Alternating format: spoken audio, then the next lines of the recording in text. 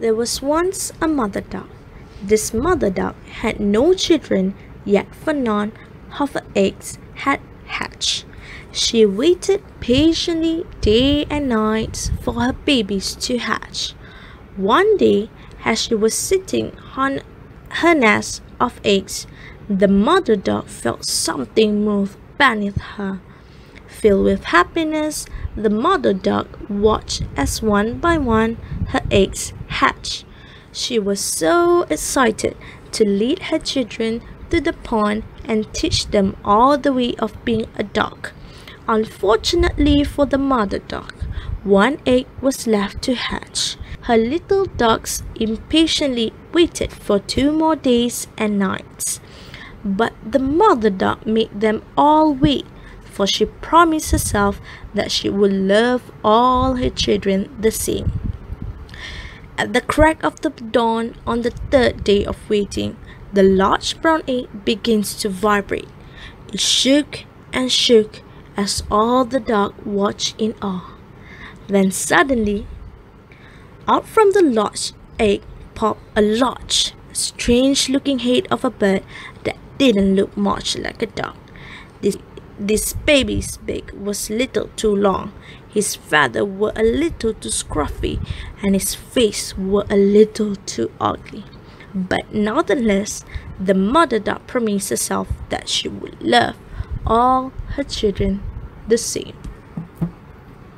She led her children into the nearby pond and began to teach each duckling how to be a proper duck. She taught them how to quack. Each duckling quacked. The ugly duckling quacked. All of the ducks in the pond stared at the ugly duckling and began to laugh. The mother duckling sadly took her little ducklings over to a different part of the pond. The ugly duckling hung his head in shame.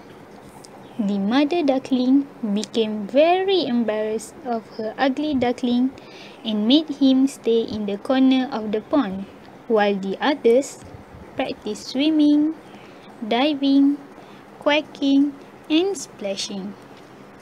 One evening, as all the ducks in the pond had gone to sleep, the ugly duckling decided that it was time for him to leave. So the little ugly duckling ran away. He waddled far away from the pond where he was born. He waddled through small marsh plants and large river reeds. He waddled over bundles of sticks and piles of dung.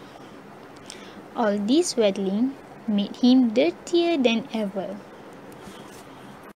Hello there. Beamed the ugly duckling to the ducks. With this, the new family of ducks turned and stared at the ugly duckling. Oh my, you are very ugly, asked the mother duck. As this family of ducks began to quack and laugh at the ugly duckling, he waddled off again in search of a nicer family to call his own. He waddled far away from the pond with the family of ducks. He waddled his way to a small tree near a pond, where he took shelter during the night. Winter has started. He waddled through now frozen marsh plants and large frozen river reeds. He waddled over frozen bundles of sticks and frozen piles of dung. All this waddling made him colder than ever. Miraculously, the ugly duckling had survived the cold winter. With spring, all of the frozen ponds melt and the frost evaporated from the marsh plants and river reeds. The ugly duckling was still sad, however. He approached a crystal clear pond and saw a family of the most beautiful birds he had ever seen the swans. As he sat by the water edge, he didn't even dare to ask these birds if he could join. For he knew if he was too ugly to live with ducks, geese, and humans, He was surely too ugly to live with the gorgeous bevy of swans.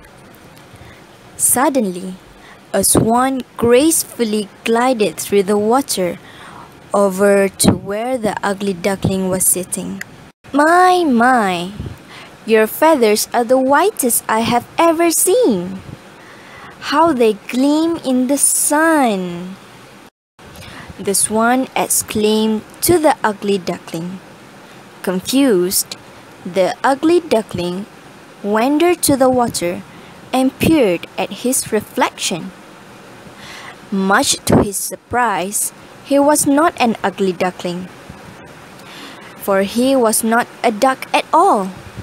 He was a beautiful white swan with a long and elegant neck. One day, as the swans were swimming, a man came strolling. The swan recognized this man as the farmer.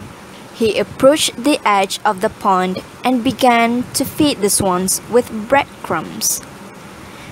The farmer looked at once ugly duckling and said, It looks like you found yourself a family. You are the most beautiful swan I have ever seen.